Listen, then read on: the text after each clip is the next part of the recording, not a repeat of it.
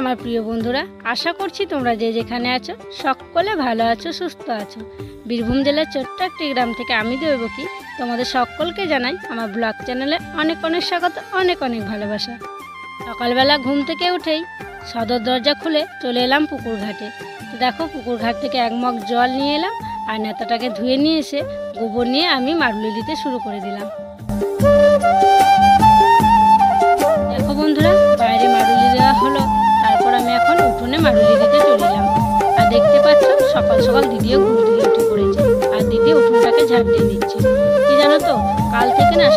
খুব শরীর খারাপ। মায়ের না পাটা খুব জ্বালা করছে, তাই খুব তঞ্চিট করছিল, রাতে একদমই ঘুমায়নি মা। তাই সকাল সকাল আর কি শাশুড়ি মাকে নিয়ে যাওয়া হবে ডাক্তারখানা। তাই দিদি আজকে স্কুলেও যায়নি, বাড়িতেই আছে।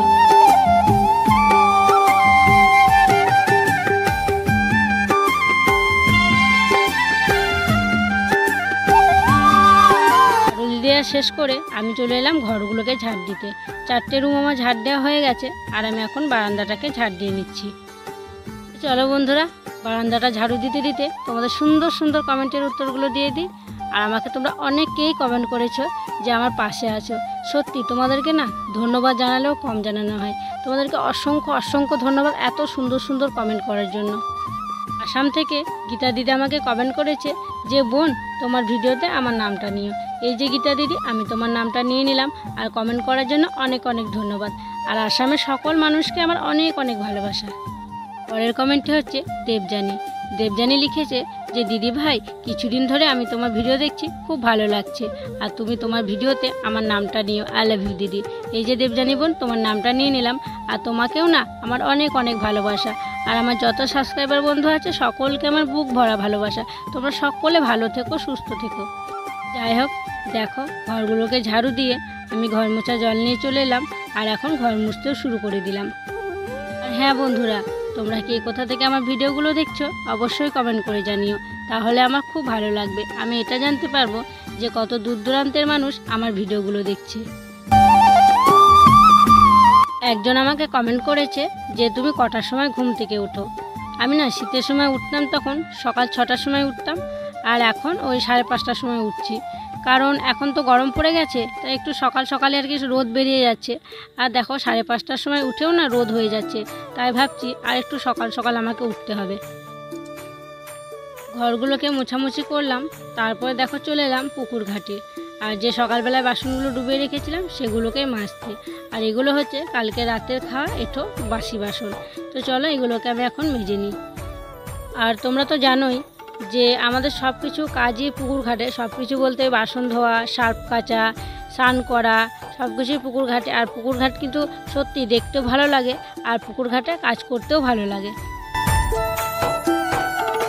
আর তোমরা অনেকেই কমেন্ট করে বলেছ যে পুকুর ঘাট দেখতে খুব ভালো লাগে। হ্যাঁ গো সত্যি পুকুর ঘাট দেখতে যেমন ভালো লাগে পুকুর ঘাটে কিন্তু সব কিছু কাজ করতেও ভালো লাগে।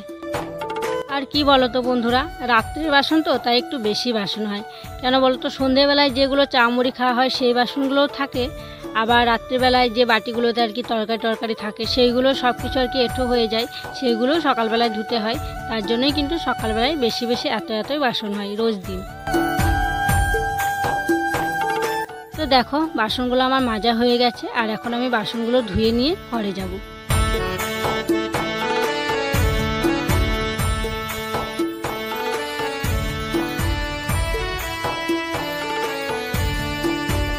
বাসনগুলো ধুয়ে নিয়ে এসে রাখলাম। তারপর আমি চলে এলাম মুরগি দুটোকে বের করতে আর হাতে করে চালও নিয়ে এলাম। কারণ সকালবেলায় ওদেরকে আমি কিন্তু রোজই চাল খেতে দিই, তাই আজকেও খেতে দিচ্ছি। আমি ওদিকে মুরগিগুলোকে খেতে দিচ্ছিলাম আর এদিকে রুদ্রসোনা ঘুম ভেঙে গেছে, ও আমাকে ডাকাডাকি করছিল। তো দেখো, এসে ওকে ওঠালাম। ওর বাবাও ওঠানোর চেষ্টা করেছিল, কিন্তু ওর বাবার কাছে উঠবে না। সে মাকেই চায় ঘুম থেকে উঠে। তো যাই হোক, দেখো, রুদ্রসোনাকে ঘুম থেকে তুলে নিয়ে এলাম, নিয়ে এসে ওকে ব্রাশ করিয়ে দিচ্ছি। আর আজকে উঠোনের দিকে যাইনি, আজকে এসছি রাস্তার দিকে। রুদ্রসোনাকে ব্রাশ করিয়ে দেব, তারপর ওকে খাবার দিয়ে কিছু ঘুটে আছে সেগুলোকে ছাড়াতে হবে। কারণ প্রচণ্ড রোদ বের করেছে, ঘুটেগুলো হালকা ভিজা হয়ে থাকলেও আর কি শুকিয়ে যাবে, তাই রোদে দিয়ে দেবো ভাবছি।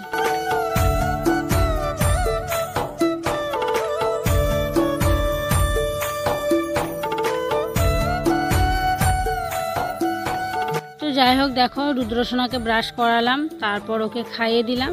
তারপর ওর মাথায় একটু তেল টেল দিলাম, সর্ষের তেল দিই রোজ সকালে ওর মাথায়। তো তারপর আমি চলে এলাম ঘুঁটেগুলোকে ছাড়াতে। তো দেখো আমি ঘুঁটেগুলোকে ছাড়িয়ে নিচ্ছি।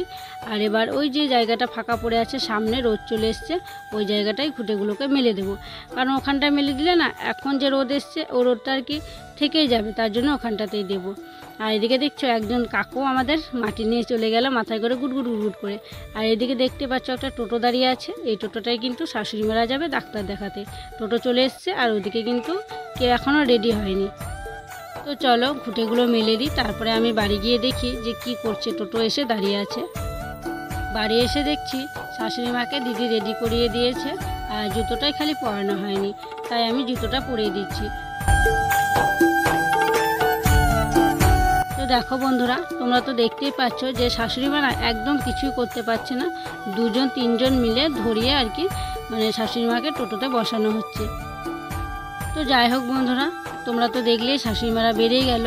তো তারপরে কিছু মানে গোবর ছিল, সেগুলোকে আমি ঘুটে দিলাম। আর আজকে না সেগুলো তোমাদের সাথে শেয়ার করলাম না।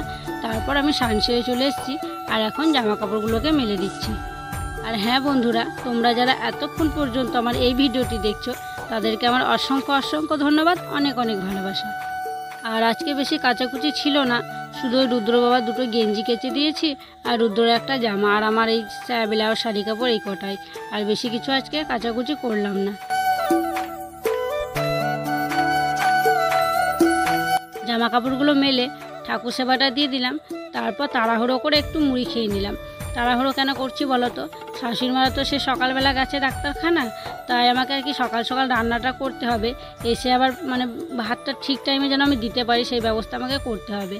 আর এমনিতে তো ডাক্তার দেখাতে গেলে তো ওষুধ দেবেই আর কি দুপুরে খাওয়ার পর। তাই জন্য আমি মানে চেষ্টা করছি তাড়াতাড়ি রান্নাটা করার। তো দেখো, আমার হাঁড়িতে মাটি লেপা হয়ে গেল, আর এখন আমি কড়াইতে মাটি দিয়ে দিচ্ছি। আর আমরা গ্রামে না এইভাবেই হাঁড়ি কড়াইয়ে মাটি লেপে রান্না করি। এদিকে আমি হাঁড়ি কড়াইয়ে মাটি লেপছিলাম, আর দেখো উনুনটা একদম দাও দাও করে জ্বলে উঠেছে। আর আমি হাঁড়ি কড়াই বসিয়ে দিলাম, আর ইয়া বড় একটা বাঁশ ঢুকিয়ে দিয়েছি। একদিকে আমার ভাত হচ্ছে, আর একদিকে কড়াইতে শুধু জল দিয়ে রেখেছি। আলুগুলো কেটে নেব, তারপর আলু সিদ্ধ করতে দেবো। আর কি বলো তো আজকে করব আলু আর ডিমের ঝোল, তার জন্য আলুটা কেটে নিই, তারপরে আলু আর ডিম একসঙ্গে কড়াইতে সিদ্ধ করতে দেবো। আর মসুর ডাল করব, আর আলু সিদ্ধ করব। এদিকে আমার ভাতটা হয়ে গেছে, আর দেখো আমি ভাতটা নামিয়ে নিলাম। আর আজকে একটু বেশি চাল দিয়েছি, তার জন্য না ভাতটা উপচে পড়ছিল। আর ওদিকে আবার শাশুড়ি মারাও চলে এসছে। কিন্তু দেখো, আমার রান্না করতে করতে না যাওয়ার একদমই উপায় নেই। রান্না বান্না সেরে আমি একদম যাব মায়ের কাছে। তো বন্ধুরা, শাশুড়ি মারা এইমাত্র এলো ডাক্তারখানা থেকে, আর এসে এসে দেখো দিদির গা হাত পা কি ধুয়ে দিল। আর আপনাদেরকে রান্না বান্না করছিলাম, এইমাত্র আমার রান্না শেষ হলো। আর ডাক্তারে বলল, ওষুধ দিল দশ দিনকার ওষুধ খেতে বলল। তারপর যদি কমে আর টেস্ট দিয়েছে কিছু, সেগুলো করাতে হবে। কোমরের মাজার ছবি করতে দিয়েছে। তো সেগুলো নাকি মা? এখন চলছে? সবসময় চলছে? একটা ওষুধ খেয়েছে চলছে এখন। শাশুড়ি মারা এলো, তার কিছুক্ষণ পরেই ভাই এলো, দেখো, আমাকে ফোন দিতে। তো শাশুড়ি মারা আসার সময় আর কি মিষ্টি নিয়ে এসেছিল, তাই ভাইকে মিষ্টি জল দিলাম। আর রুদ্রসোনাকে দেখো খাইয়ে দিল। আর আমি তো খুব খুশি মনে মনে যে সত্যি আমি মানে ভিডিও করতে পারব আবার নিজের মতো করে। মানে ফোনটা আমাকেই দিয়ে যাবে এখন আপাতত। রান্নাবান্না সেরে আমি হাঁড়ি কড়াইটা ডুবিয়ে রেখে শাশুড়ি মাকে খেতে দিতে গেছিলাম। কারণ তো তোমাদেরকে আগেই বললাম যে দুপুরবেলা ওষুধ থাকবে, তাই তাড়াতাড়ি আর কি খাবারটা দিতে হবে। তো মাকে ওদেরকে খেতে দিয়ে এলাম, আর মায়ের কাছে দিদি আছে, তাই আমি ভাবলাম হাঁড়ি কড়াইটা মেজে নিই। তো দেখো, হাঁড়ির মাটিটা প্রায় উঠেই গেছে, আর কড়াইয়ের মাটিটাও কিন্তু ভালোই উঠে গেছে। তাই আমি একটু একটু মাটি লেগে আছে, সেগুলোকে ভালো করে মেজে নিচ্ছি। তো মাজা দেওয়া হয়ে যাবে, তারপর বাড়ির সকলকে আমি খাবার দিয়ে দেবো। আর পুকুর ঘাটে না, এই টাইমটায় না খুব রোদ হয়। তাও আমি আজকে উপরের দিকে গেলাম না মানে ছায়াতে যাওয়া হতো কিন্তু না, আজকে খুব তাড়াহুড়োর মধ্যে দিয়ে আর কি হাঁড়ি কড়াইটা মাজছি। কারণ বুঝতেই পারছ বাড়িতে ভাই এসছে মানে খাবার টাবার দিতে হবে। আর বাতাস আছে, খুব একটা গরম লাগছে না। বুঝতেই পারছ জলটাকে দেখে কত পাতা পড়ে আছে বাতাসের জন্য। অনেক পাতা কিন্তু পুকুরে ঝরে পড়ে আছে। হাঁড়ি কড়াইয়ের সাথে অন্যদিন আরও অনেক বাসন থাকে, যেমন ধরো ভাতের ঢাকনাটা থাকে, সারাশি, খুন্তি, সেগুলোকে আমি আর কি যখন ডুবে রাখি তখনই আর কি সেগুলোকে ধুয়ে নিয়ে চলে গেছিলাম। কারণ হাঁড়ি কড়াইটা মাজতে আমার দেরি হবে, তখন ওই ছোটো ছোটো জিনিসগুলো জলে পড়ে যায় যদি আমি খুঁজে পাবো না, তার জন্য ওই ছোটো ছোটো জিনিসগুলোকে আগে ঘরে রেখে এসেছি। তারপর এখন হাঁড়ি কড়াইটা দেখো আমার মাজা হয়ে গেল, আর আমি একটু হাত মুখে জল নিয়ে নিলাম।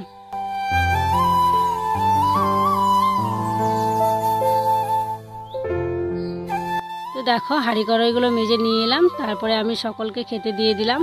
আর মা কিন্তু ওখানে বসে খেয়েছে, ওখানে বসে আছে। শাশুড়ি মায়ের খাওয়া হয়ে গেছে। আর দিদি আর আমি এখনও খাইনি। তো ওদের সবার খাওয়া হবে, তারপর দিদি আর আমি খেয়ে নেব। চলো বন্ধুরা, খাওয়া দাওয়া করে নিই, তারপরে তোমাদের সাথে আবার দেখা হচ্ছে। খাওয়া দাওয়া করে রুদ্রসোনাকে ঘুম পাড়াতে গেলাম। রুদ্রসোনা না কিছুতেই ঘুমাতে চায় না। মানে এটা সেটা মানে কিছুতেই ঘুমাবে না গো। ওকে মানে জোর করেই একরকম ঘুম পাড়াতে হয় আমাকে। তো যাই হোক মানে অনেকটা জোর করার পরও একটু ঘুমালো। তারপর দেখো আমি বাইরে এলাম, এসে শাশুড়ি মা এইমাত্র আর কি ঘুম থেকে উঠল। দিয়ে শাশুড়ি মায়ের চুলটাকে আঁচড়ে দিচ্ছি। আমি কিন্তু এখনও চুল টুল আঁচড়াইনি। তারপরে আমিও চুল টুল একটু আঁচড়ে নেব। শাশুড়ি মায়ের চুলটা আমি বিনুনে করে গুঁথে একটুখানি আর কি জড়িয়ে রেখে দেবো। আর কি বলতো, এমনি খোলা থাকলে কি হবে মানে চুলটা মানে বিছানায় ঘষা যাবে তো, তার জন্য একটু গুঁথে আমি একটু মানে ডাব মতো করে রেখে দিই। তো যাই হোক, শাশুড়ি মা চুলটা আছানোর পর একটু সিঁদুর ঠিকিয়ে দেবো, তারপরে আমি যাব জল আনতে।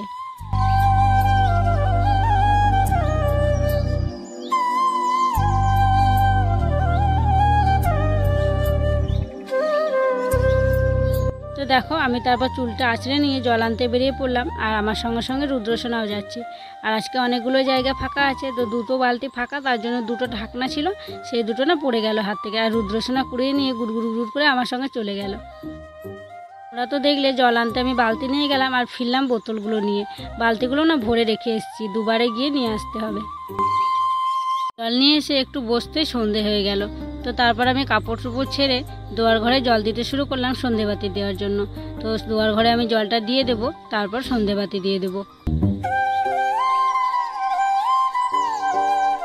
তো চলো বন্ধুরা, আজকের ব্লগটা এখানেই শেষ করছি। তোমরা সকলে ভালো থেকো, সুস্থ থেকো। আর যারা আমার নতুন বন্ধু আছো, এই ভিডিওটি দেখছ, তাদেরকে আমার পাশে থাকার জন্য অনুরোধ করছি। আর যারা আমার পুরনো বন্ধু হয়ে আমার পাশে আছো, তাদেরকে আমার অসংখ্য অসংখ্য ধন্যবাদ, অনেক অনেক ভালোবাসা।